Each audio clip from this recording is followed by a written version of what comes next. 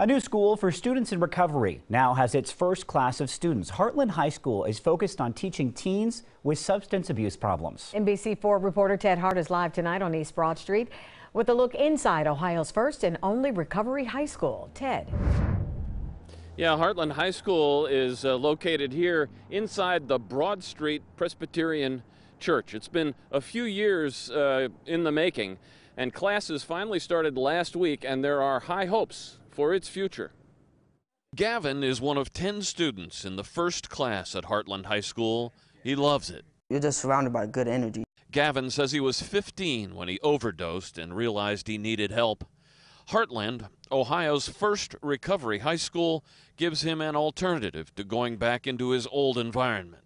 Being around here, being around people that's not around drugs, uh, is also affecting me outside of here.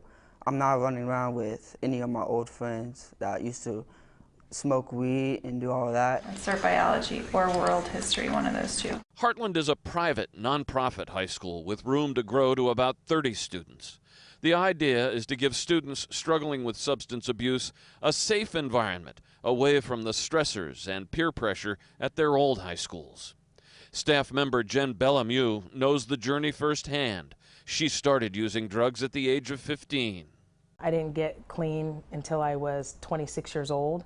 And so from 15 to 26, I struggled because there wasn't any kind of support. And I did get, get sent back to the same environment, same kids, same situation over and over again. And so I, it, it was impossible. Bellamieux believes the 10 students in this inaugural class have already bonded and started looking out for each other. There's positive peer pressure. Heartland becomes one of about 40 recovery high schools around the country.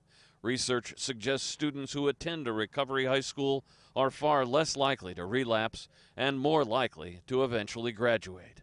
If we can get them coming out of treatment and then get them funnel them into like a recovery high school right away, you're going to see much more success. And other recovery high schools around the country are seeing seeing success.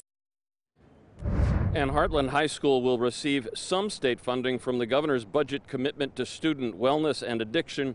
Beyond that, though, it relies on tuition payments and charitable contributions. Local for you and live on the east side, Ted Hart, NBC4. All right, Ted, thank you.